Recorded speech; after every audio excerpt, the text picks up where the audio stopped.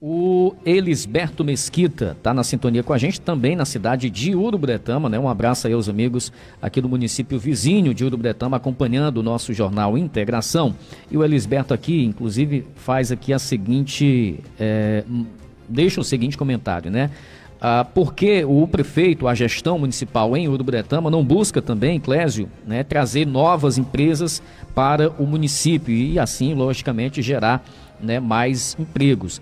Eu acho que essa tem sido aí uma, um dos principais desafios, né, doutor Bastos, de todo e qualquer gestor, pegando principalmente essa nossa, essa nossa região. Irauçuba agora, no próximo dia 15, amanhã, portanto, né, vai ter aí a presença do governador do estado, Elmano de Freitas, porque lá vai acontecer exatamente a inauguração oficial de um novo polo industrial do setor calçadista, mas os outros municípios aqui na nossa região, acredito, né, que é, tem também essa, esse, esse desafio, essa importante missão, né, doutor? É, hoje gerar emprego e renda é não, é a mais importante né, missão, desafio de qualquer prefeitura, com certeza. Mas para isso aí precisa o quê? Precisa fazer o dever de casa.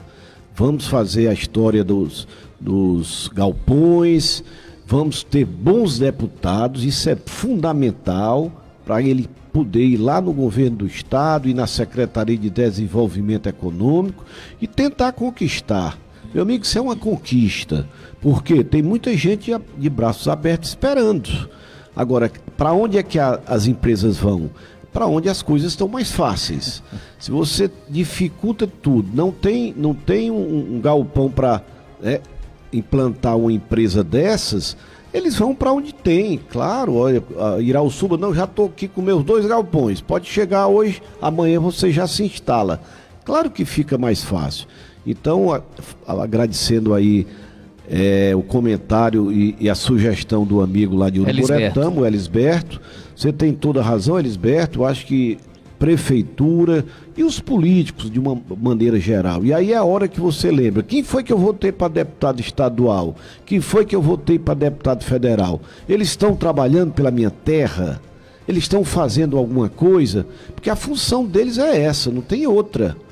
Né? Não é só para votar e ficar. Não, é para completar a minha, minha é, é, cédula aqui de votação. Não, é porque eles têm um compromisso, eles assumem o um compromisso com a região onde eles são votados.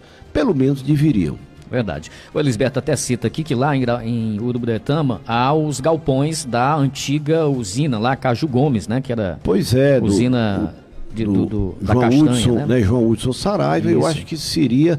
Aliás, foi uma época aí que eles foram alugados, mas não sei se continuaram, mas é uma opção. Então, né, estão meio desgastados, mas seria interessante uma pequena reforma para dar mais motivação para a empresa se instalar por lá. Mas boa ideia, Lisberto.